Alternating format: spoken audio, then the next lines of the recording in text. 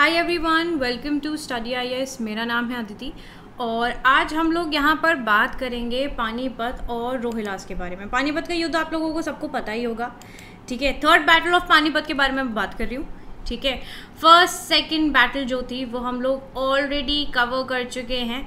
यहाँ पर हम लोग बात करेंगे थर्ड बैटल ऑफ़ पानीपत की, ठीक है? जो कि आपके मराठा से लिंक करती है। चलिए, अब लास्ट क्लास में हम लोगों ने यहाँ पर battle of Plassey battle of Plassey और बक्सर का जो युद्ध था उसके बारे में पढ़ा था। अब जब यहाँ पर बैटल ऑफ़ प्लासी हो रही थी बक्सर हो रहा था तो मीन वाइल पैरलेली आपके जो अन्य प्रांत हैं, जो अन्य जगह हैं, वहाँ पर इस टाइम पर क्या हो रहा था, ये चीज़ हम लोग यहाँ पर देखेंगे। देखिए, मुग़ल एम्पर, जो एम्पायर है आपका, जब वो बहुत वीक पड़ता गया तो उसी टाइम पर यहाँ पर काफ़ी सारे इन्वेजन्स थे जो कि हमें देखने को मिलते हैं। जैसे कि आपके नादिर शाह आए थे, है ना? अहमद शाह अब्दाली आए थे। तो ये लोग जब आए थे, इनके आने से हिंदुस्तान पर क्या इम्पैक्ट पड़ता है? हमारी जो यहाँ पर एक पॉलिटिक्स चलती रहती थी, ठीक है? और यहाँ पर जो इंटरनल पॉलिटिक्स है, उसमें क्या चेंज आएगा? क्योंकि यहाँ पर बहुत सारे लोगों की जो राजगद्दी थी, वो भी हिल चुकी थी इन लोगों की इन्वेजन से। तो इस चीज़ को हम लोग यहाँ पर करेंगे कवर और किस प्रकार से ईस्ट इंडिया कंपनी के लिए ये फ़ायदेमंद रहता है। ओके चलिए तो स्टार्ट करते हैं क्लास को और आज हम लोग यहाँ पर रोहिलास के बारे में जानेंगे सबसे पहले कि रोहिलास कौन है। ठीक है? चलिए तो यहाँ पर मैं आपको वैसे भी बताती रहती हूँ कि मैप जो है, मैप बड़े इंपॉर्टेंट हैं आप लोगों के एग्ज़ाम के लिए। तो मैप्स को यहाँ पर हमेशा ध्यान में रखिए, ठीक है? मैप्स को हमेशा पढ़ते रहिए। तो यहाँ पर आप देख सकते हो, यहाँ पर मेंशन है रोहिलास ठीक है? क्योंकि यहाँ पर है आपका रोहिलखंड क्या है यहाँ पर आपका? रोहिलखंड है, ठीक है? तो ये रोहिलखंड का जो इलाका है, यहाँ पर हम लोग कहते हैं कि यहाँ पर रहते थे आपके रोहिलास अब ये रोहिलास कौन है? आखिर हैं कौन ये रोहिलास? तो इनका बैकग्राउंड जानते हैं। देखिए, रोहिलखंड का इलाका जो है, यानी कि वेस्टर्न और नर्दर्न पार्ट जो है, उत्तर प्रदेश का और उत्तराखंड के पास वाला एरिया ठीक है, कुमाऊं रीजन भी बोल सकते हैं। वहाँ पर, जहाँ पे आपको ये बिजनौर जैसी जो सिटीज़ हैं, ठीक है, बिजनौर आ गई आपकी, इस तरीके की जो सिटीज़ आ रही हैं तो यहाँ पर आपका रोहिलखंड स्थित है, ठीक है, यहाँ पर रहते थे आपके रोहिलास। अब पहले जो यहाँ राजपूत रहते थे, उनको रोहिला राजपूत कहा जाता था। ठीक है? जो लोग यहाँ पर, जो राजपूत यहाँ पर रह रहे थे ना, उनको पहले क्या बोला जाता था? उनको बोला जाता था रोहिला राजपूत। ठीक है? उनको यहाँ पर रोहिला राजपूत बोला जा रहा था। All right. अब यहाँ पर क्या है? सत्रहवीं शताब्दी में सेवनटीन सेंचुरी में आप लोगों को पता है, जब यहाँ पर औरंगज़ेब जो है, उसके टाइम पर पाकिस्तान का जो एरिया है ठीक है? तो वहाँ से क्या था कि अफ़गानी, ईरानियन जो इन्वेजन्स जो थे, वो उस टाइम पर बहुत बढ़ गए थे, क्योंकि सबको पता चल गया था कि जैसे जैसे औरंगज़ेब यहाँ पर वीक पड़ता जा रहा था, मुग़ल एम्पायर जो था, वो यहाँ पर आपका कमज़ोर पड़ रहा था। बहुत कमज़ोर पड़ रहा था और इसके कमज़ोर पड़ने का फ़ायदा यहाँ पर बाहरी लोग जो थे, वो उठा रहे थे। तो इसी टाइम पर हमें आपका जो अफ़गान रीजन है, यहाँ पर आप देख सकते हो, अफ़गानिस्तान का जो रीजन है ठीक है? अफ़गान रीजन हो गया आपका, ईरान की तरफ़ से, यहाँ से जो लोग थे, वो इजीली एंटर कर पा रहे थे हिंदुस्तान के अंदर। ठीक है? यहाँ आप लोग देख सकते हैं, दिल्ली पे यहाँ पर मुगल्स बैठे हैं। तो यहाँ पर क्या हो रहा था? कि इस टाइम पर जब इन्वेजन बढ़ रहा था तो उसी टाइम पर यहाँ पे जो रहने वाले लोग थे, वो माइग्रेट करके यहाँ पर आ रहे थे। ठीक है? वो माइग्रेट करके आपके रोहिलखंड आके परमानेंटली सेटल हो रहे थे। और इसी वजह से इनका जो नाम था ठीक है? इनका जो नाम था, वो यहाँ पर रोहिला रख दिया गया। ठीक है? अब जब इन्होंने यहाँ पर रहना स्टार्ट कर दिया था परमानेंटली यहाँ पर बस गए थे तो यहाँ पर इन लोगों को एक तरीके से अगर देखा जाए तो लोगों को रोहिलास कहना शुरू कर दिया था। अब परमानेंटली सेट तो हो गए। अब इसके बाद क्या है कि यहाँ पर भी एक छोटा सा राज्य फॉर्म हो गया। ठीक है? रोहिलखंड में भी आपको एक छोटा सा राज्य फॉर्म होता हुआ नज़र आया। ठीक है? अब ये जो राज्य यहाँ पर फॉर्म हुआ था उसके जो राजा थे, उनका नाम क्या है, ये मैं आपको यहाँ पर बता दूँ। उनका नाम है अली मोहम्मद खान। क्या नाम है?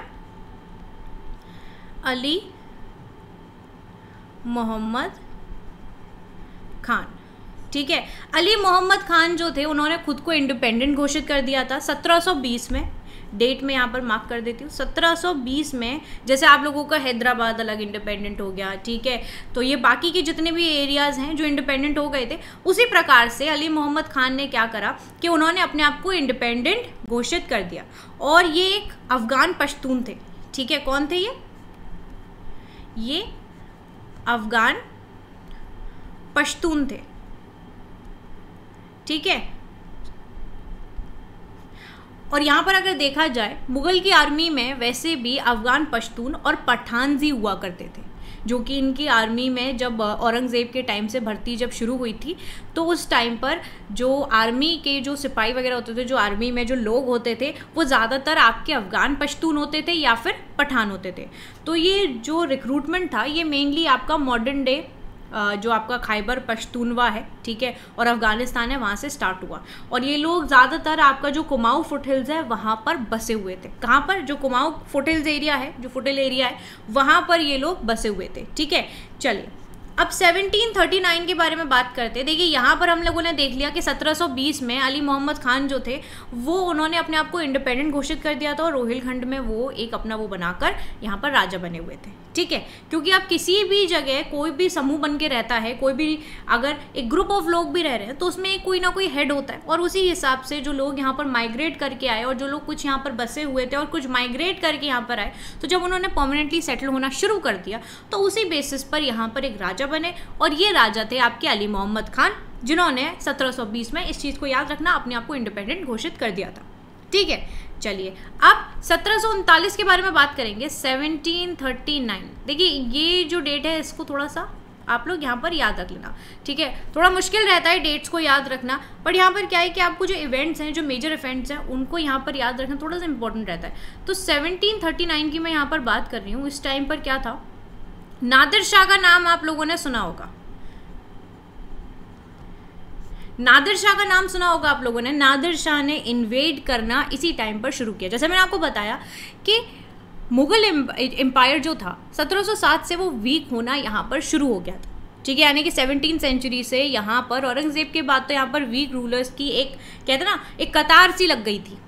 एक के बाद, एक के बाद, एक के बाद, एक ना एक करके जो वीक रूलर्स थे, उनकी एक तरीके से एक वीक रूलर आया। फिर जो अगला राजा था, वो भी बहुत ही कमज़ोर था, ठीक है? तो इन्हीं कमज़ोर राजाओं की वजह से सही प्रकार से एडमिनिस्ट्रेशन नहीं हो पा रहा था और जो अंदर ही अंदर पॉलिटिक्स चल रही थी, ठीक है? साम्राज्य के अंदर जितनी भी पॉलिटिक्स चल रही थी, उसकी वजह से क्या हो रहा था कि जो बाहरी ताकतें हैं, वो इस कमज़ोरी का फ़ायदा उठा के मुग़ल एम्पायर पर अपना कब्ज़ा करने की कोशिश कर रही थी। तो उसी हिसाब से नादिर शाह ने यहाँ पर इन्वेट किया। उसके बाद 1748 में 1748 का टाइम है, जब यहाँ पर अहमद शाह अब्दाली जो है, अहमद शाह अब्दाली सॉरी अहमद शाह अब्दाली जो हैं, वो यहाँ पर इंडिया में आते हैं। ठीक है? और इनका भी मकसद क्या था? अच्छा खासा तरीके से इन्होंने इन्वेट भी किया और दूसरी चीज़, इनका इंटरफेरेंस भी हिंदुस्तान में आपको ज़्यादा देखने को मिलेगा। किस प्रकार से? ये भी मैं आपको बताती हूँ।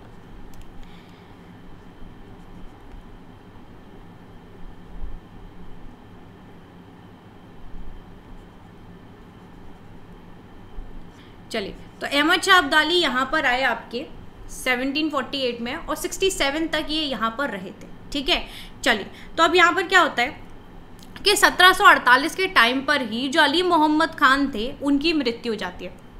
जो रोहिला के, हम लोगों ने यहाँ पर जो रोहिला में ये जो इंडिपेंडेंट राजा बने थे, ठीक है, अली मोहम्मद खान, यहाँ पर इनकी मृत्यु हो जाती है 1748 में।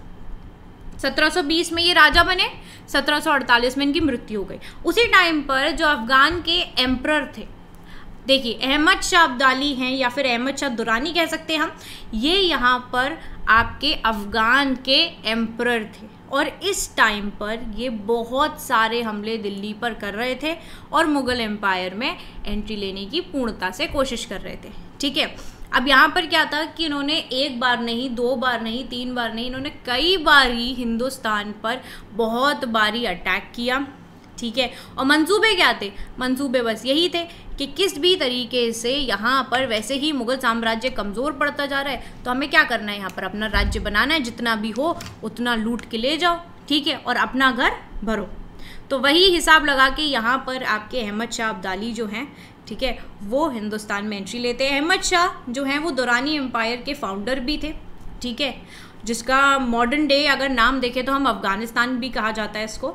ओके तो अब्दाली के अटैक की वजह से जो एरिया था और उसके रोग थे जो रोहिलखंड में रह रहे थे, ठीक है, वो यहाँ पर और आके रहने लगे, ठीक है, और यहाँ पर जो लोग थे वो यहाँ पर आके रहने लगे, जैसे मैंने आपको बताया, क्योंकि इन लोगों के जो इन्वेजन चल रहा था, क्योंकि अब ये लोग घुसपैठ कर रहे थे, और इस जगह पर अगर लोग रह रहे होंगे तो उनको यहाँ पर काफ़ी हद तक डिस्कम्फर्ट जो था वो देखने को मिल रहा था, ठीक है तो इस वजह से क्या हो रहा था कि इस एरिया में अगर आप देखोगे तो जो लोग थे अब यहाँ पर इन्वेजन शुरू हो जाएगा तो लोग जो है वो माइग्रेट करके उसी जगह जाएँगे जहाँ पर उनको सुरक्षित मिला मतलब वो सुरक्षित महसूस कर सकें। तो अपने आप को प्रोटेक्ट करने के लिए लोग माइग्रेट करके आपके रोहिलखंड में आने लगे। अब्दाली के अटैक के बाद, ठीक है?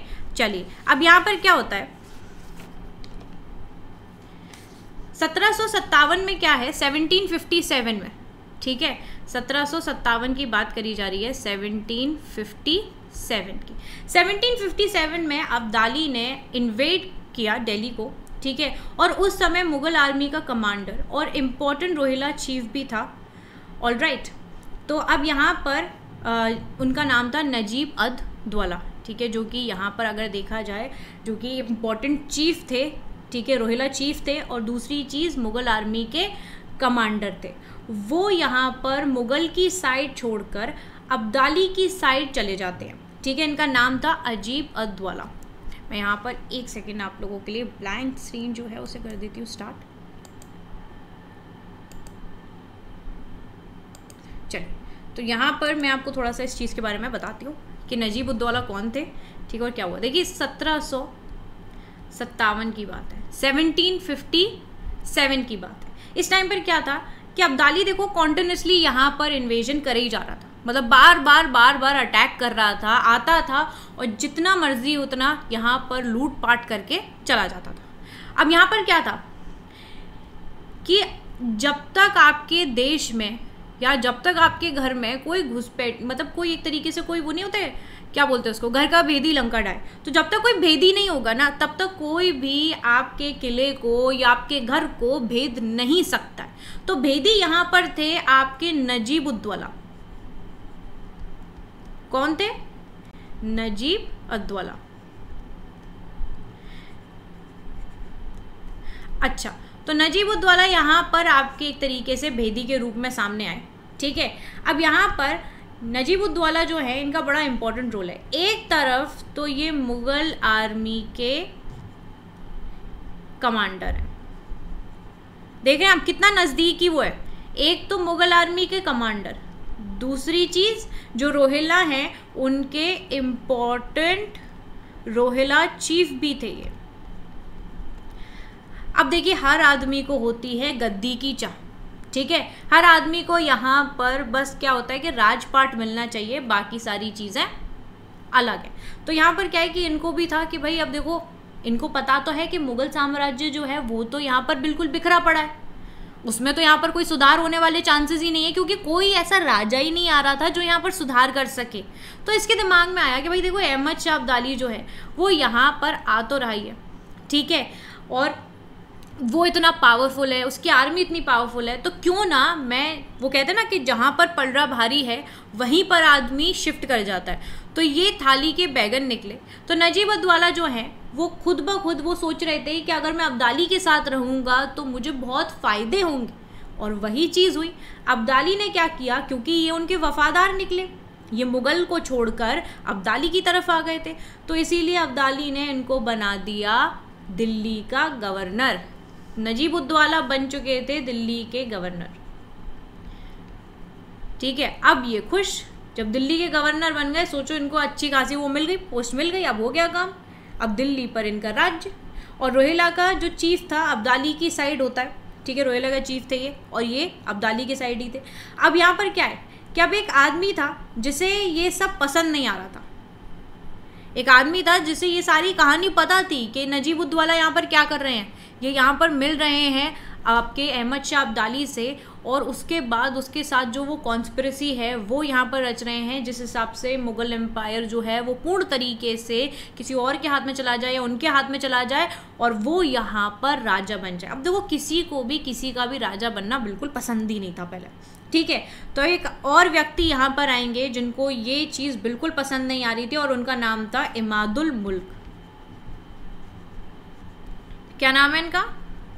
इमादुल मुल्क। अब ये इमादुल मुल्क कौन है? असफ जहाँ के बारे में आप लोगों ने सुना था। असफ जहाँ, निज़ाम असफ जहाँ, ठीक है? निज़ाम असफ जहाँ कैनेटिक वॉर में हम लोगों ने पढ़ा था। निज़ाम असफ जहाँ के ये थे ग्रैंड सन कौन थे ये? ग्रैंड सन थे निज़ाम असफ जहाँ के। ठीक है? अब यहाँ पर क्या होता है? अब नाजिब को भगाने के लिए इमादुल मुल्क क्या करेंगे? इमादुल मुल्क ने मराठा से बात करी। और मराठा आर्मी जो थी, वो रघुनाथ राव के अंतर्गत यहाँ पर नजीब को बाहर करने के लिए आ जाती है। और वो लोग आ भी गए थे। ठीक है? मराठा को इन्होंने बुलाया, इमादुल मुल्क ने। मदद ली मराठा से और मराठा उसको पूरी कहानी बताई कि देखो भाई, ऐसे ऐसे चल रहा है। अगर यहाँ पर कोई और व्यक्ति, कोई बाहरी व्यक्ति आके हमारे देश में या फिर जो नॉर्थ वाला इलाका है, वहाँ पे आके राज्य करने लगा, अगर उसका यहाँ पर पूरा साम्राज्य बन गया तो हम कहाँ जाएँगे? कल को वो आके हमें भी हटा सकता है। तो मराठास के दिमाग में ये चीज़ आ गई थी कि भाई, ऐसा तो होना बहुत गलत है, ये तो बिल्कुल गलत चीज़ है। तो इस वजह से उन्होंने क्या करा? उन्होंने यहाँ पर जो नाजिब थे ठीक है, जो दिल्ली के गवर्नर बन गए थे मराठाज आए रघुनाथ राव के साथ। रघुनाथ राव के साथ आए, ठीक है, और रघुनाथ राव के साथ आने के बाद यहाँ पर इन्होंने नजीब को हटा दिया, ठीक है, दिल्ली से बाहर कर दिया। अब यहाँ पर, अगर हम यहाँ पर रघुनाथ राव के बारे में बात करें तो आप लोगों को पता है रघुनाथ राव कौन है? ये सन है आपके पेशवा बाजीराव के। ठीक है? और जो बालाजी बाजीराव हैं, उनके भाई हैं, ठीक है? जो कि आपके सत्रह में पेशवा बन गए थे। कौन थे? 1758 में पेशवा बनने वाले कौन थे? सत्रह में बालाजी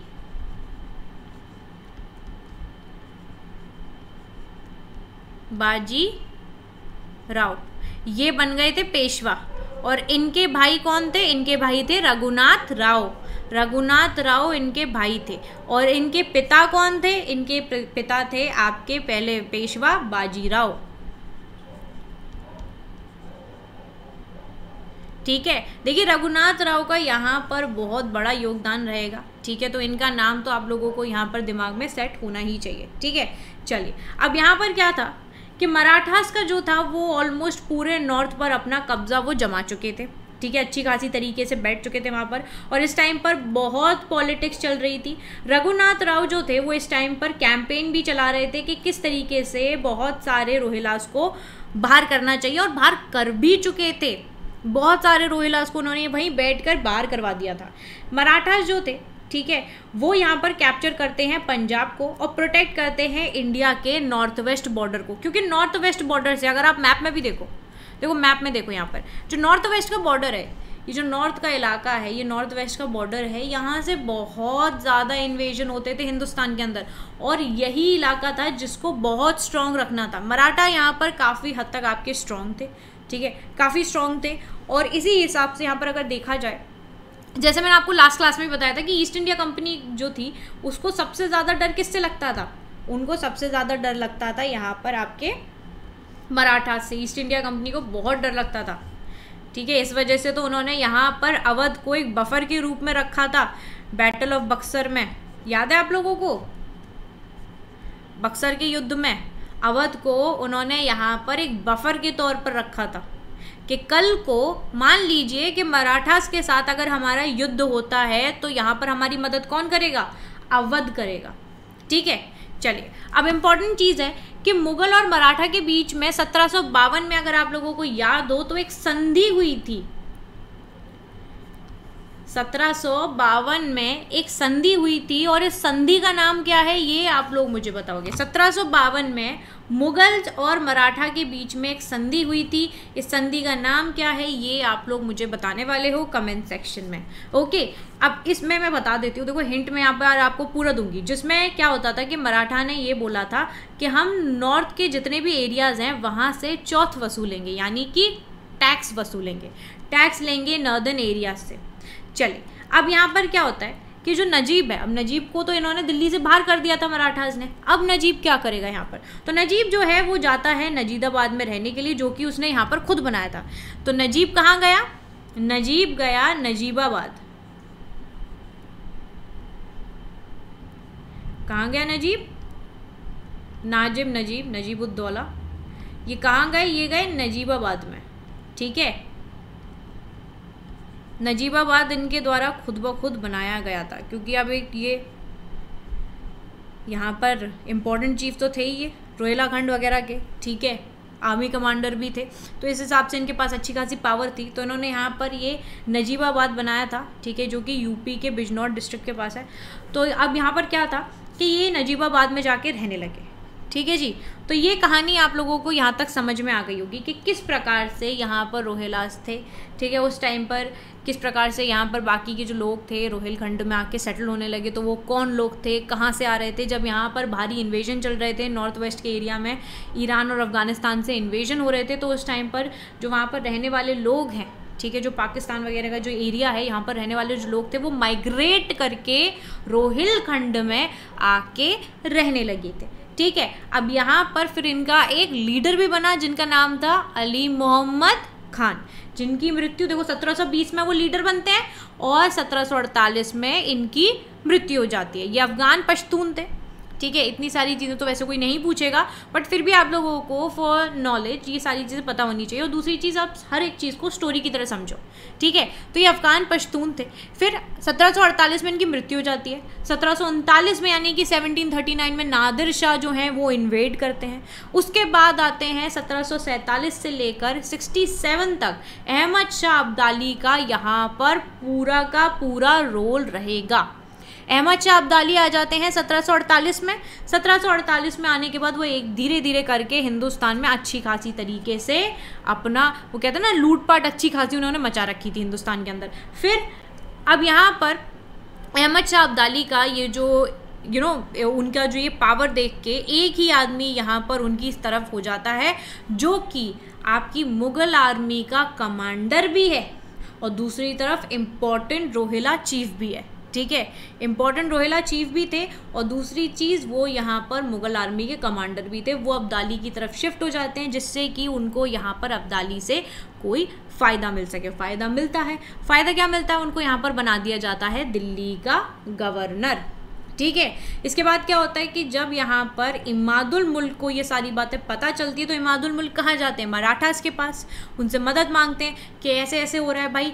कोई मतलब जो नजीबुद्दौला है, वो तो किसी घुसपैठी को हमारे देश में घुसा रहा है और उसको यहाँ पर उसको राजा बनाने की कोशिश कर रहा है। जिससे कि वो फ़ायदे में आ सके। मराठास को ये चीज़ बर्दाश्त नहीं हुई। रघुनाथ राव के अंतर्गत जो आर्मी आती है, वो यहाँ पर नजीबुद्दौला को दिल्ली से कर देती है। बाहर बाहर का रास्ता दिखाती है उनको। ठीक है? और खुद ब खुद यहाँ पर जो आपके रघुनाथ राव हैं, वो कैंपेन चलाते हैं। पूरे नॉर्थ पर तो उन्होंने ऐसे कब्जा कर लिया। अब क्या करते हैं वो कि इस टाइम पर ये चलाते हैं कैंपेन और जितने भी रोहिलाज हैं, उनको बाहर कर देते हैं। ठीक है? बहुत सारे को तो बाहर भी कर चुके थे वो। और जो इंडिया का नॉर्थ वेस्ट बॉर्डर है, उसको यहाँ पर प्रोटेक्ट करते रहते हैं। ठीक है? चलिए, इसके बाद अब यहाँ पर आप लोगों को पता ही है कि जो मराठास थे, वो यहाँ पर नॉर्थ के एरिया से चौथ भी वसूल रहे थे। ऑल राइट चलिए। अब नजीब जो था, वो नजीबाबाद जाके रहने लगा। अब इस टाइम पर मुगल्स के अंतर्गत क्या हालत चल रही थी, ये हम लोग देखेंगे। ठीक है? मुगल्स में क्या हो रहा था, ये सारी चीज़ें हम लोग यहाँ पर देखने वाले हैं। चलिए।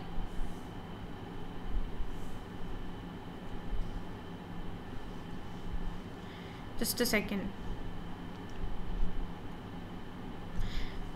चलो तो मुगल्स की क्या पोजीशन थी या क्या हालत थी इस टाइम पर? इस चीज़ को हम लोग यहाँ पर देखेंगे। चलिए तो यहाँ पर क्या है कि सत्रह सौ उनसठ seventeen fifty nine to sixty इस टाइम पीरियड पे क्या था? शाहजहां तीन जो थे, वो राजा बन गए थे, ठीक है? इमादुल मुल्क की मदद से। ठीक है इमादुल मुल्क ने यहाँ पर शाहजहाँ तीन की मदद करी थी।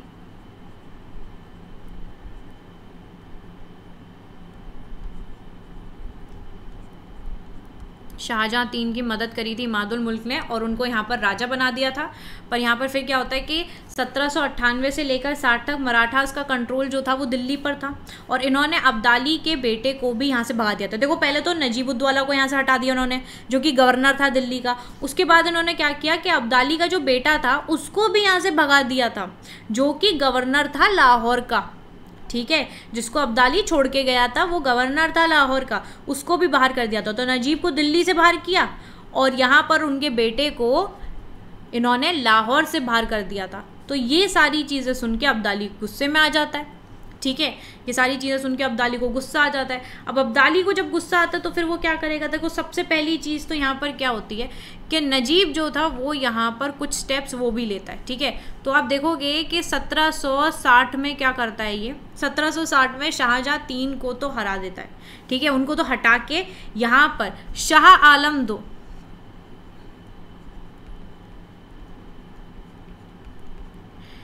शाह आलम दो जो हैं, उनको यहाँ पर राजा बना दिया जाता है। ठीक है? किसके द्वारा? नाजिब के द्वारा। और इस टाइम पर नाजिब ने अब्दाली को फिर से बुलाया। ठीक है?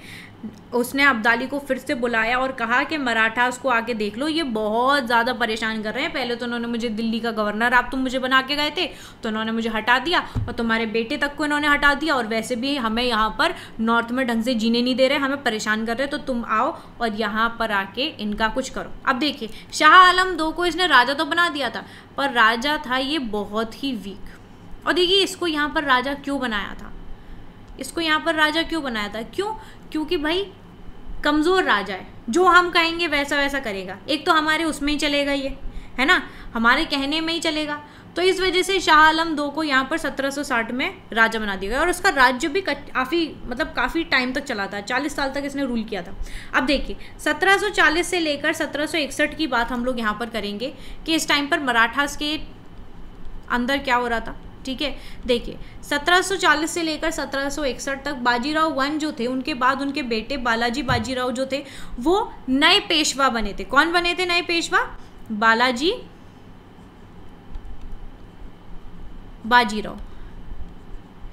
ठीक है, अब इनको हम ना नाना साहिब भी बोलते हैं। क्या बोलते हैं? नाना साहिब। ठीक है? इनको नाना साहिब भी बोला जाता है और इनके टाइम पर मराठा एम्पायर जो है वो कॉन्फेडरेसीज में ट्रांसफॉर्म हो गया था। ठीक है? इन्हीं के टाइम पर मराठा एम्पायर जो है वो आपका कॉन्फेडरीज में कॉन्फेडर सॉरी जो आपकी कॉन्फेडरेसी हैं, उनमें डिवाइड हो गया था। ठीक है? किस प्रकार से देखो, हर मैप में आपको ये चीज़ देखने को मिल जाती होगी।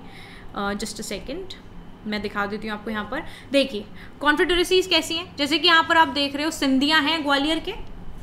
ठीक है? सिंधिया यहाँ पर, एक सेकेंड में यहाँ पर पेन जो है उससे आपको दिखाती हूँ जस्ट अ सेकेंड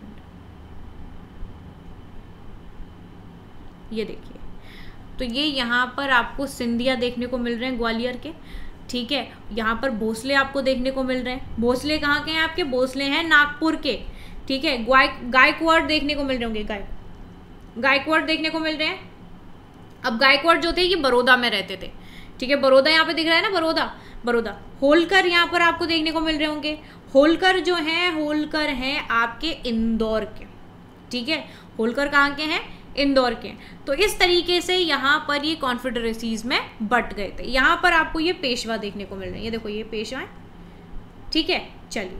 तो अब यहाँ पर हम लोग देखते हैं जो थर्ड बैटल ऑफ़ पानीपत है, वो किस प्रकार से होगी? एक तो देखो अहमद शाह अब्दाली यहाँ पर गुस्से में आ रहा है।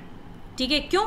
क्योंकि उसके बेटे को लाहौर से हटा दिया और वो जो एक व्यक्ति को, अपने खासा खास व्यक्ति को गवर्नर बना के गया दिल्ली का, उसको भी हटा दिया। तो मराठास के अगेंस्ट ही आ रहे हैं यहाँ पर, ठीक है? अब जो आपका तीसरा पानीपत का युद्ध होगा, इस युद्ध में अगर हम देखें, देखिए, ये है आपका पानीपत, ठीक है? ये आपका पानीपत है, यमुना नदी के पास। अब यहाँ पर पानीपत के इलाके पे ये लड़ाई होती है और ये लड़ाई होगी, इसका, इसकी जो डेट है, उसको याद रखना, चौदह जनवरी, एक सेकेंड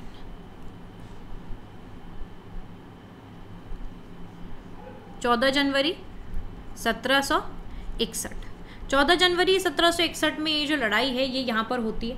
और देखिए, अब क्या होता है कि इस लड़ाई में मराठा की हार हो जाती है। ठीक है? प्लेयर्स मैं आपको बता देती हूँ कौन कौन थे यहाँ पर। एक तरफ़ थे आपके अहमद शाह।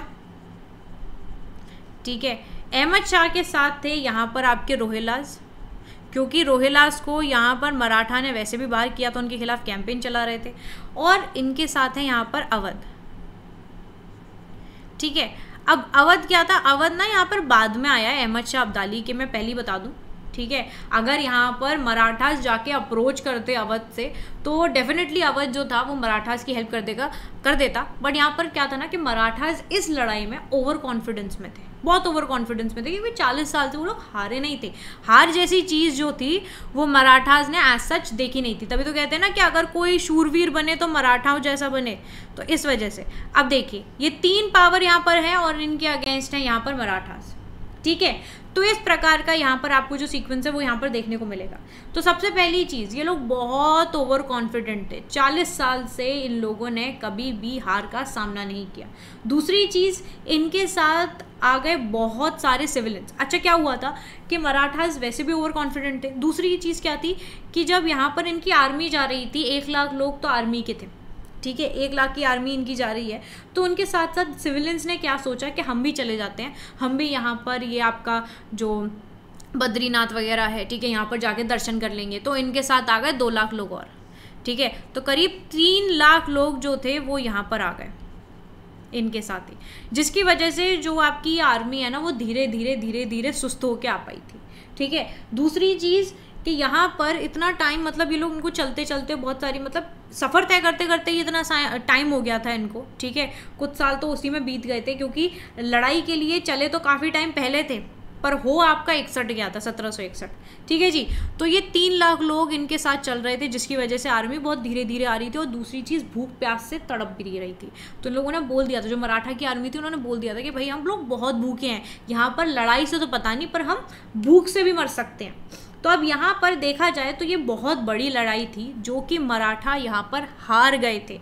सबसे पहली चीज़ अपने ओवर कॉन्फिडेंस की वजह से, दूसरी चीज़ जो इतने सारे लोग उनके साथ आए थे, एक दिन की लड़ाई थी बस ये। ये लड़ाई जो थी वो सिर्फ़ एक दिन की थी, जिसमें एक लाख मराठा जो थे वो मारे गए थे। और जो सिविलियंस इनके साथ आए थे ना, उन सिविलियंस का भी बहुत बुरा हाल हुआ था, क्योंकि उनको भी यहाँ पर मार दिया गया था। जैसे ही सेना के लोग ख़त्म हो गए थे ना, वैसे ही इन लोगों ने क्या करा था कि जो सिविलियंस थे, उन तक को मारना शुरू कर दिया था। अब इस पूरी लड़ाई का फ़ायदा किस किस को होता है? देखिए, इस पूरी लड़ाई का फ़ायदा जो है ना, इस पूरी लड़ाई का फ़ायदा होता है आपकी ईस्ट इंडिया कंपनी को। वैसे भी डरते थे वो लोग। है ना, कि यहाँ पर अगर मराठाज आ जाएँगे तो कैसे काम चलेगा? तो ईस्ट इंडिया कंपनी को फ़ायदा होगा। जाट को फ़ायदा होता है यहाँ पर, सिखों को फ़ायदा होता है एक तरीके से, क्योंकि अब ये लोग यहाँ पर और स्ट्रांग बन सकते थे। जो स्ट्रांग पावर है, जो मराठा पावर है, वो तो यहाँ पर एक तरीके से अगर देखा जाए तो कुछ टाइम तक के लिए, यहाँ पर लड़ाई करने के लिए तो सक्षम थी ही नहीं। है ना जी? तो जो फेलियर है मराठा की सबसे पहली तो डिप्लोमेसी फेलियर आपको यहाँ पर देखने को मिलती है। दूसरी आर्टिलरी एब्सेंस भी है क्योंकि यहाँ पर अगर देखें हम जो अब्दाली है अब्दाली की आर्मी में यहाँ पर काफ़ी आपको यू you नो know, काफ़ी जो आर्टिलरी की अगर हम चीज़ें बात करें जो इक्विपमेंट्स थे वो काफ़ी बेहतरीन थे उसके पास और उसने बहुत दिमाग लगा के इस लड़ाई को लड़ा था। दूसरी चीज़ अगर हम यहाँ पर अपने मराठास की बात करें तो देखिए इनके पास गुरिल्ला टैक्टिक्स थी। और इनको जर्नली आइडिया भी गुरिल्ला टैक्टिक्स का ही था, ठीक है? तो वो चीज़ यहाँ पर इम्प्लीमेंट नहीं हो पा रही थी और सबसे पहली चीज़ इनकी ये पहली लड़ाई थी जो कि किसी प्लेन यानी कि मैदानी एरिया पे हो रही थी, जिसमें ये लोग हार गए थे। अब इस लड़ाई का इम्पैक्ट क्या होता है? अगर हम उसको देखें तो सबसे पहली चीज़ क्या है? जैसे मैंने आपको बताया कि ईस्ट इंडिया कंपनी को उसका फ़ायदा होगा, क्योंकि प्लासी और बक्सर का जो युद्ध था, इसीलिए ये लोग ईजिली लड़ पाए। ठीक है? प्लासी और बक्सर का युद्ध जो था, इसीलिए ये लोग इजीली लड़ पाए थे क्योंकि मराठा आपके इकसठ में ही कमज़ोर हो गए थे। उसके बाद अगर हम देखें, इसी टाइम के पैलर इवेंट्स कौन कौन से चल रहे थे? देखिए, सत्रह में आपकी बक्सर की लड़ाई हुई। बक्सर की लड़ाई हुई थी, ठीक है, जिसमें अंग्रेज़ अच्छी खासी तरीके से जीत चुके थे। सत्रह सौ पैंसठ में अलाहाबाद की ट्रीटी ये सारी चीज़ें मैं आपको दोबारा से याद करा रही हूँ। ये याद रखना।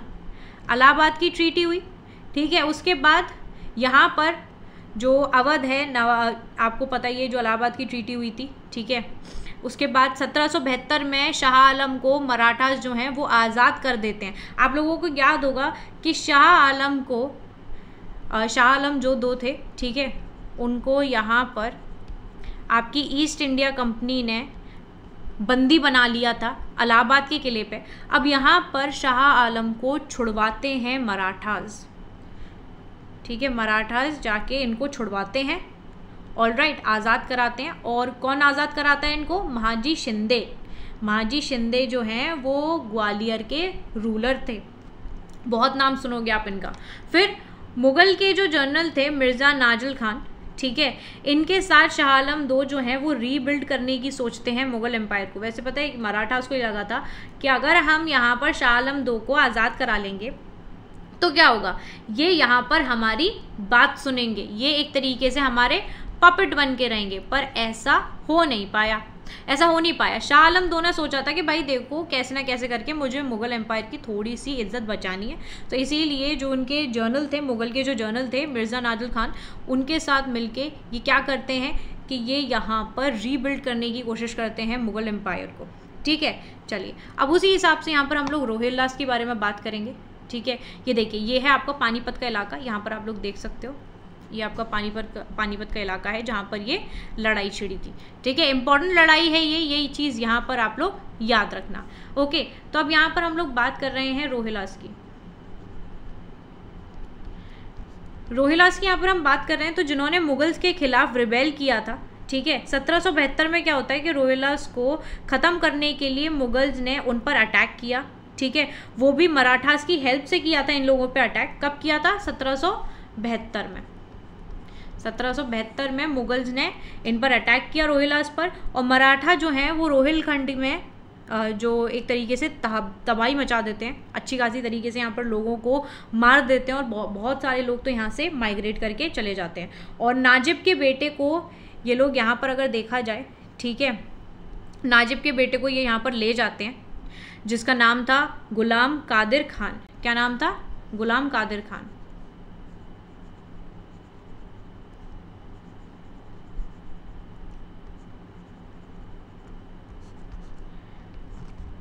तो ये था आपके नाजिब का बेटा। नाजिब आप लोगों को याद है? जो कि दिल्ली के गवर्नर थे दिल्ली के गवर्नर जिनको अब्दाली बना के गए थे जो कि यहाँ पर अहमद शाह अब्दाली के एक तरीके से अगर देखा जाए तो इंडिया के अंदर राइट हैंड के का, का काम कर रहे थे। तो इनका जो बेटा था गुलाम कादिर खान इसको यहाँ पर कौन ले जाता है? इसको ले जाते हैं शाह आलम दो ठीक है? और इसको बिल्कुल अपने बच्चे की तरह रखते हैं जैसे बाकी के राजा यहाँ पर थे बाकी के प्रिंस जो थे वैसे ही यहाँ पर इनको भी रखा जाता है ठीक है? और यहाँ पर अगर देखा जाए तो दिल्ली में इनको ले जाके रखते हैं और इनसे वैसा ही यहाँ पर प्यार करने लगते हैं। बट अगर देखा जाए तो शाह आलम जो दो थे, वो कुछ ज़्यादा ही इस बच्चे से प्यार करने लगे थे, ठीक है? और इसको यहाँ पर ये कैटामाइट बना देते कैटामाइट क्यों बनाते हैं? देखिए, कैटामाइट क्या होता है? पहले तो मैं आपको ये बता देती हूँ, ठीक है? मैं यहाँ पर लिख देती हूँ कैटामाइट। तो इसको ये क्या बना देते हैं? कैटामाइट बना देते हैं। ठीक है? अब जो बच्चे जिनके साथ, जो छोटे छोटे बच्चे होते हैं, जिनके साथ जो शारीरिक संबंध बनाते हैं लोग, ठीक है? तो उन बच्चों को कैटामाइट कहा जाता है? और ये चीज़ जो है, अगर आप देखोगे तो ये इस टाइम पर बहुत कॉमन चीज़ थी। आज के टाइम पर this is not common and this is wrong as well but उस टाइम पर ये बहुत कॉमन थी। इवन अगर आप बाबर की बायोग्राफी पढ़ोगे या बाबर के बारे में आप पढ़ोगे तो उसमें साफ़ साफ़ लिखा था, उसने खुद साफ़ साफ़ बोला था कि वो यहाँ पर मतलब एज ए कैटमाइट जो हैं, उनको रखना पसंद करता है। ठीक है?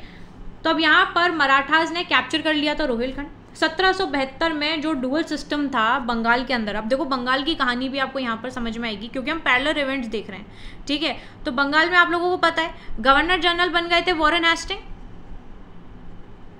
वॉरन एस्टिंग बन गए थे। और उसी टाइम पर उन्होंने अबॉलिश करवा दिया था डुअल सिस्टम जो दौरी सरकार यहाँ पर चल रही थी, उस दौरी सरकार को यहाँ पर उन्होंने ख़त्म करवाया।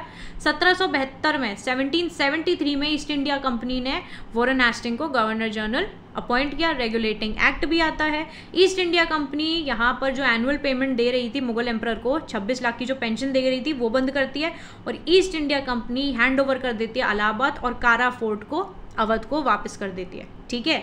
चलिए, अब यहाँ पर क्या होता है कि ये जो बच्चा होता है गुलाम कादिर खान, जिसके साथ इतनी सारी मतलब चीज़ें होती हैं, वो यहाँ पर 1787 में 1787 में जब बड़ा हो जाता है, ये वापस चला जाता है रोहिलखंड। जब ये रोहिलखंड वापस जाता है तो ये दिल्ली आता है रिवेंज लेने के लिए, अपनी आर्मी के साथ। और इसने यहाँ आके खूब अच्छी खासी लूट मचाई, बहुत लोगों को टॉर्चर किया वुमेंस का रेप किया और शाह आलम को अंधा कर दिया था, क्योंकि जो चीज़ इसके साथ हुई थी, उसके बदले के लिए इसने ये सारी चीज़ें यहाँ पर करी, ठीक है? सत्रह सौ अठहत्तर में आके। और उसके बाद गुलाम कादिर को हराने के लिए मराठाज आए महाजी शिंदे के महाजी शिंदे जो हैं, उनके अंतर्गत। 1780-80 में अब क्या होता है कि अब खुद मराठाज जो हैं, वो यहाँ अपना एक गैरिसन जो है, वो लेके दिल्ली में ही स्थापित हो जाते हैं कि भैया हमें यहाँ पर ध्यान रखना पड़ेगा दिल्ली में और अपना कब्जा यहाँ पर रखना पड़ेगा। तो डी फैक्टो मराठा रूल जो है, वो यहाँ पर बीस साल तक चला था। कब तक? 20 साल तक चला था आपके दिल्ली के अंदर। नॉर्थ की तरफ़ अगर देखा जाए। ओके चलिए। अब यहाँ पर क्या था? कि जब ये इतनी सारी चीज़ें यहाँ पर हो रही थी, उस सारी चीज़ों के साथ साथ बैकग्राउंड में क्या चल रहा था? बैकग्राउंड में सिख एम्पायर जो है, वो आपका यहाँ पर बिल्डअप हो रहा था। और ये जो सिख एम्पायर है, इसके बारे में हम लोग बात करेंगे अगली क्लास में। ठीक है जी? आई होप आज की क्लास में आप लोगों को सारी चीज़ें समझ में आई होंगी। जो सवाल मैंने आपसे पूछा है, उस सवाल का जवाब ज़रूर देना। और क्लास अच्छी लगी है तो आप लोग इसको लाइक करके ज़रूर बता दीजिएगा। ठीक है? मैप से सारी चीज़ों को समझो, और जैसे मैप से आप चीज़ों को समझोगे, उतनी ही आसानी आपको पढ़ने में होगी। ओके चलिए, हम लोग अगली क्लास में मिलेंगे। तब तक के लिए bye everyone take care and have a wonderful day ahead okay bye